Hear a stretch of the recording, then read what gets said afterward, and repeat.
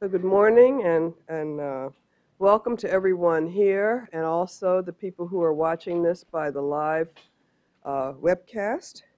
I'm Shiriki Kumanyika from the University of Pennsylvania and I am the chair of the Standing Committee on Childhood Obesity Prevention, which is the sponsor of this workshop.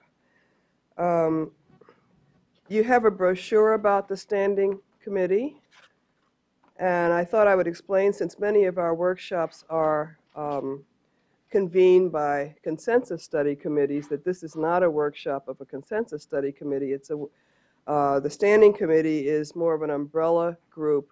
We're funded by the Robert Wood Johnson Foundation to think and plan and advise on the types of studies that need to be done, uh, to convene workshops, keep the dialogue going, engage with uh, representatives of policymakers and the like. So we're standing, um, even though you're sitting, in the sense of ongoing, as opposed to the study committees that are uh, convened for a specific purpose uh, separately and then are retired when the uh, study is done.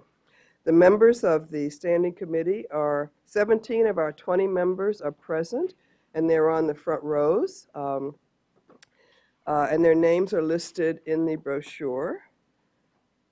Uh, I would also like to acknowledge the workshop planning committee members that have really um, uh, made an effort along with the staff to put this workshop together. Bill Dietz uh, has been the chair of the uh, study committee, Kelly Brownell, Mary Story, Ellen Wartella, uh, have, have been the other, and Tom Robinson are the other members, and they're all here, and you'll hear from some of them at least during the program. Uh, and thank uh, Robert Wood Johnson Foundation, which sponsors the committee, and through that, through the committee, is sponsoring this workshop.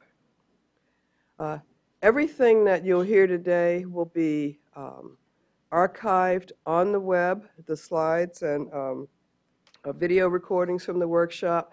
So besides being here and experiencing this and participating and giving your ideas, you will also be able to refer back to it and um, share it with your friends, let them know where the link is. Uh, we will be writing a summary of today's proceedings to be published in the spring of next year.